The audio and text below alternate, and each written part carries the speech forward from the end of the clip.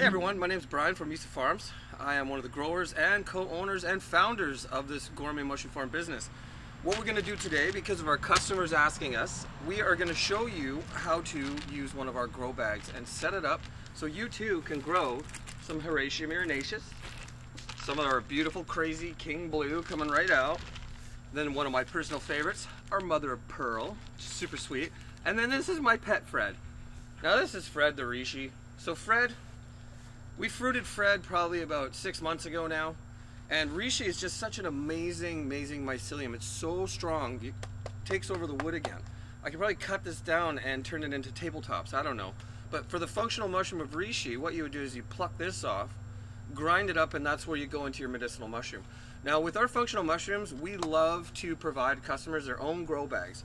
So that's Fred Reishi. He has been dehydrated and he's just been rocking every tour for us for the last few months.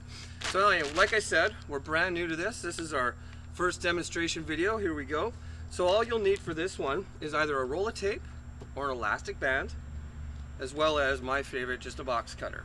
If you have scissors, go ahead, but the box cutter works the best. So what we're gonna do today, this is a block of Hericium erinaceus, lion's mane, monkey beard, monkey head, no, lion's beard, monkey head, Hudoku.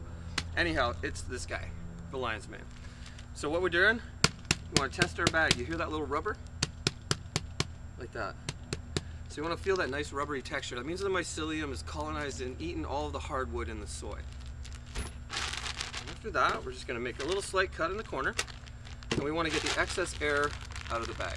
And we actually want to be really careful to cover up the filter as well, or else the mushroom's going to try and grow out of that. What we want to do is get it nice and tight, fold it over. I use our elastics.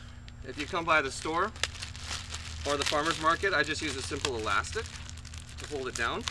Gives it that nice tight, nice and tight. And then what we're gonna do, or good old masking tape, we'll do both because you might not have an elastic band. And what household now does not have one, but you never know. So there we go, and we just got it all taped up there. So what we wanna do is kind of just squeeze the mycelium, let it know it's time to go. Some of the growers like the Southwest Mushroom Farm guys, they uh, he likes to spank them, tell them to wake up. So I'm gonna give it an old Mike from Southwest. This is for you, buddy. I'm gonna spank my lines, man, just for you, bud. So what we're doing now is you wanna focus on your center cut of the bag. I do see some more pieces of the mycelium forming on this block. So, and there's a little bit there and there's some here.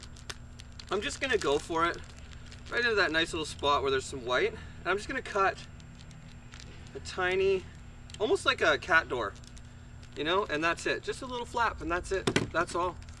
And then so after that, that's your bag is set, you're done, you're a mushroom farmer. Now the next step to farming mushrooms is water. Now I obviously, I'm a cheater, I, I do this all day. So I, I have myself a handy dandy pump, water pump. You might just have a little small spray mister. We typically send them or give them to customers as well. We have some small ones. The kids really like it because then your son or daughter, uh, you know, your, your child can just give it a little spray every morning, three times a day. We always tell you to put them right by the, um, the sink where you wash your hands.